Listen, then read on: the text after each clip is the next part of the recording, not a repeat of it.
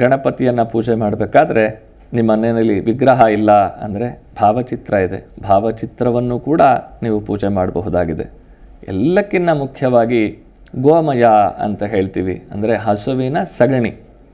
ಆ ಸಗಣಿಯನ್ನು ತಂದು ಅದನ್ನು ಗಟ್ಟಿ ಮಾಡಿ ಒಂದು ಪಿರಮಿಡ್ ರೂಪದಲ್ಲಿ ಅದನ್ನು ಮಾಡಿಟ್ಟು ಅದರ ಮೇಲೆ ಗರಿಕೆ, ಇಪ್ಪತ್ತೊಂದು ಗರಿಕೆಗಳನ್ನು ತಂದಿಟ್ಟು ಆ ಸಗಣಿಯ ಮುಂಭಾಗದಲ್ಲಿ ಅರಿಶಿನ, ಕುಂಕುಮ ಮತ್ತು ಚಂದ್ರವನ್ನು ಇಟ್ಟು ಎರಡು ವಿಳ್ಳೆದೆಲೆ ಮತ್ತು ಮಂತ್ರಾಕ್ಷತೆಯನ್ನು ಹಾಕಿ. ಇನ್ನೊಂದ್ಸಲಿ ಹೇಳ್ತಾ ಇದ್ದೀನಿ, ಎರಡು ವಿಳ್ಳೆದೆಲೆ ಅದರ ಮೇಲೆ ಮಂತ್ರಾಕ್ಷತೆಯನ್ನು ಹಾಕಿ.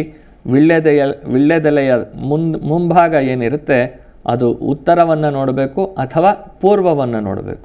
ಉತ್ತರ ಅಥವಾ ಪೂರ್ವವನ್ನು ನೋಡುವಂತೆ ವಿಳ್ಳೆದೆಲೆಯನ್ನು ಇಟ್ಟು, ಅದರ ಮೇಲೆ ಮಂತ್ರಾಕ್ಷತೆಯನ್ನು ಹಾಕಿ ಈ ಗೋಮಯ ಬಿಂಬ ಅಂತ ಹೇಳ್ತೀವಿ. ಸಗಣಿಯಿಂದ ಮಾಡಿರುವಂತಹ ಬಿಂಬವನ್ನು ಇಟ್ಟು, ಅದರ ಮೇಲೆ ಗರಿಕೆಯನ್ನು ಇಟ್ಟು ನೀವು ಗಣಪತಿಯನ್ನು ಓಂ ಗಂಗಣಪತಯೇ ನಮಃ ಅನ್ನೋದು ಬಹಳ ಸುಲಭವಾದ ಮಂತ್ರ. ಓಂ ಗಂಗಣಪತಯೇ ನಮಃ.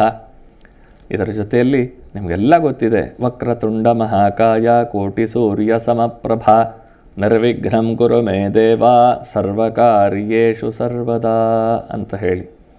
ಈ ಪ್ರಾರ್ಥನೆಯನ್ನು ಮಾಡಿಕೊಂಡು ಕನಿಷ್ಠ ನೂರೆಂಟು ಸಲಿ ಸಾವಿರದ ಎಂಟು ಸಲಿ ಮಾಡಿದ್ರೆ ಬಹಳ ಶ್ರೇಷ್ಠ. ನೂರೆಂಟು ಸಲಿ ಆದರೂ ಓಂ ಗಂಗಣಪತಯೇ ನಮಃ, ಓಂ ಗಂಗಣಪತಯೇ ನಮಃ, ಓಂ ಗಂಗಣಪತಯೇ ನಮಃ.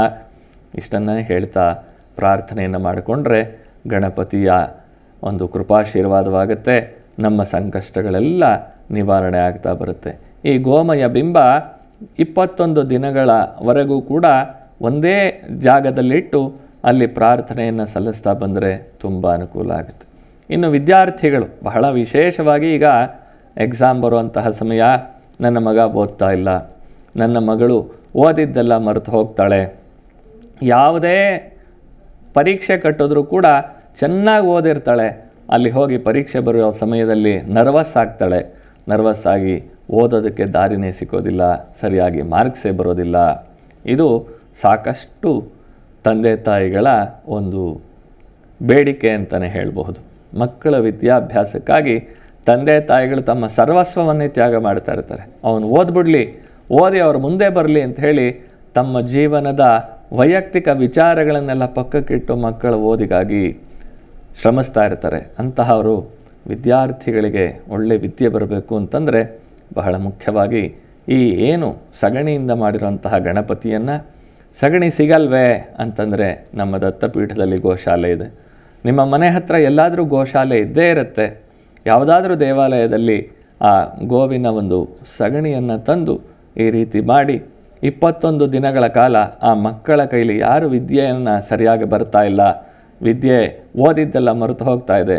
ಈ ಸಂದರ್ಭ ಇದ್ದಾಗ ಕಡಲೆಕಾಳು. ಕಡಲೆಕಾಳನ್ನು ನೀರಲ್ಲಿ ಹಿಂದಿನ ದಿನವೇ ನೆನೆಸಿಡಬೇಕು. ನೆನೆಸಿಟ್ಟು ಮಾರನೇ ದಿನ ಬೆಳಗ್ಗೆ ಸ್ನಾನ ಆದಮೇಲೆ ಏನು ನಾನು ಪೂಜೆಯನ್ನು ಹೇಳಿದೆ, ಈ ರೀತಿ ಪೂಜೆಯನ್ನು ಮಾಡುವಾಗ ಕಡಲೆಕಾಳಲ್ಲಿ ನೀರನ್ನೆಲ್ಲ ಬಗ್ಸಿ, ನಾನು ನೆಂದಿರ್ತಕ್ಕಂತಹ ಕಡಲೆಕಾಳಿನ ಜೊತೆಯಲ್ಲಿ ಒಂದು ಇಪ್ಪತ್ತೊಂದು ಕಾಳು, ಜಾಸ್ತಿ ಇಷ್ಟಿಷ್ಟೆಲ್ಲ ಬೇಡ, ಕಾಲು ಕಾಲು ಕೆ ಜಿ ಅರ್ಧ ಅರ್ಧ ಕೆ ಜಿ ಬೇಡ. ಕಡಲೆಕಾಳನ್ನು ಸ್ವಲ್ಪ ಒಂದು ಇಪ್ಪತ್ತೊಂದು ಕಾಳು ಅಥವಾ ನಲವತ್ತೆಂಟು ಕಾಳುಗಳನ್ನು ಇಟ್ಟು ಅದಕ್ಕೆ ಸ್ವಲ್ಪ ಬೆಲ್ಲ ಮತ್ತು ಕಾಯಿ ತುರಿ, ಕಾಯಿಯನ್ನು ತುರಿದು ಅದರ ಜೊತೆಯಲ್ಲಿ ಇಟ್ಟು ಗಣಪತಿಗೆ ನೈವೇದ್ಯವನ್ನು ಮಾಡಬೇಕು.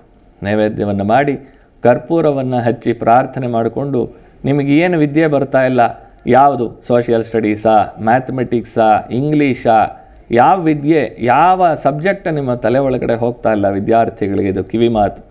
ಆ ಒಂದು ಸಬ್ಜೆಕ್ಟ್ ಪುಸ್ತಕನೋ ಅಥವಾ ಕ್ವಶನ್ ಪೇಪರೋ ನಿಮ್ಮ ಹತ್ರ ಏನಿದೆಯೋ ಆ ಸಾಮಗ್ರಿಗಳು, ಅದನ್ನು ಅಲ್ಲಿ ಮುಂದೆ ಇಟ್ಟು ಪ್ರಾರ್ಥನೆ ಮಾಡಬೇಕು. ಪ್ರಾರ್ಥನೆ ಮಾಡಿ ಆ ವಿಘ್ನೇಶ್ವರನಿಗೆ, ಒಪ್ಪಿಸಿ, ಆ ಕಡಲೆಕಾಳು, ಬೆಲ್ಲ ಮತ್ತು ಕಾಯಿ ತುರಿ ಏನು ನೈವೇದ್ಯ ಮಾಡಿರ್ತೀರಿ? ಅದನ್ನು ತಿಂದು ಆ ನಂತರ ಓದೋಕ್ಕೆ ಶುರು ಮಾಡಿ. ಇದು ನನ್ನ ವೈಯಕ್ತಿಕ ಅನುಭವ, ನಿಮಗೆ ನಾನು ಹೇಳ್ಕೊಡ್ತಾ ಇರೋದು. ಬೇರೆ ಅಲ್ಲ. ಏನೋ ಪುಸ್ತಕದಲ್ಲಿ ಬರೆದಿರೋದಲ್ಲ, ನಾನು ಮಾಡಿ ಗೆದ್ದಿರೋ ಅಂಥದ್ದನ್ನು ನಿಮಗೆ ಹೇಳ್ಕೊಡ್ತಾ ಇದ್ದೀನಿ. ನಿಮ್ಮ ಜಿ ಕನ್ನಡ ನ್ಯೂಸ್ ಚಾನೆಲ್ ಈಗ ಸನ್ ಡೈರೆಕ್ಟ್ ನಂಬರ್ ಇನ್ನೂರ ತೊಂಬತ್ತೆರಡು, ಯು ಡಿಜಿಟಲ್ ನಂಬರ್. ನೂರ ಅರವತ್ತೆರಡು ಸಿಟಿ ಕೇಬಲ್ ನಂಬರ್ ಐವತ್ತೊಂದು. ಜಿಟಿಪಿಎಲ್ ನಂಬರ್ ಹದಿನೇಳು. ಅಭಿಷೇಕ್ ಕೇಬಲ್ ನಂಬರ್ ಎಂಟುನೂರ ಇಪ್ಪತ್ತೊಂದು ರಾಕ್ಲೈನ್ ಟೆಲಿಕಮ್ಯುನಿಕೇಶನ್ ನಂಬರ್ ಐವತ್ತೊಂದು. ಶ್ರೀ ಬಸವೇಶ್ವರ ಕೇಬಲ್ ನಂಬರ್ ಅರವತ್ತು. ವಿನಾಯಕ ಡಿಜಿಟಲ್ ನಂಬರ್ ಐವತ್ಮೂರು. ನೆಟ್ವರ್ಕ್ಗಳಲ್ಲಿ ಲಭ್ಯ.